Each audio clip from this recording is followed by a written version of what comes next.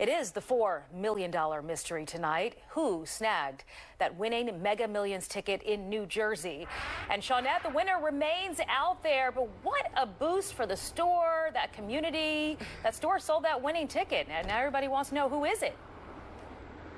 Well, we don't have the answer to that yet, but I can tell you what, Shiba, the owner says that he actually prayed for a win like this for his store. His store has been there for 27 years. He says this is its third and biggest win. And I'm so happy to somebody hit uh, mega million in my place. Bhupesh Patel is all smiles today, a day after he says lottery officials came into his store with some big news. And then he asked me, uh, you know, that somebody won like a four million in your store. I said, oh, one million? I don't think so. He says, yeah, sure. It's true. Someone bought the winning ticket from Patel's convenience store, One Stop Shop Food Market on Whitehorse Pike in Atco. They matched all five white balls for Tuesday's jackpot. The person added the megaplier for one extra dollar, which turned a million dollar prize into four million. Patel says word is spreading fast around town. All day yesterday, customer, all everybody asking, or somebody like win a year here.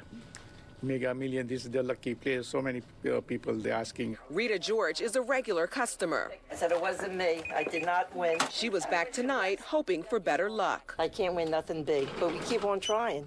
Patel's wife printed tickets for customers nonstop. Three for midday and evening, separate numbers. Helen Reese read about the winning ticket on Facebook. Well, whoever won it, congratulations. Joe Gagliardi stocked up on tickets tonight for a different game and a chance to win six million. Yes.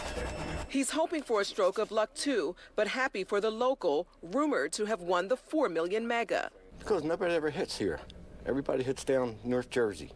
You know, nobody ever hits here except for a couple nights ago. Others are crossing their fingers for a payday of their own. I hope I can win this here. I'm a good candidate. Look at that. I like her energy. So, as we mentioned, uh, the winner remains a mystery. And Jason, it could stay that way because in Jersey, you do have the option to remain anonymous with the prize over a certain amount. I, wouldn't you? I would. I would tell I you. would. Yeah, that's the way you got to go. Thanks, Shawnette. Uh,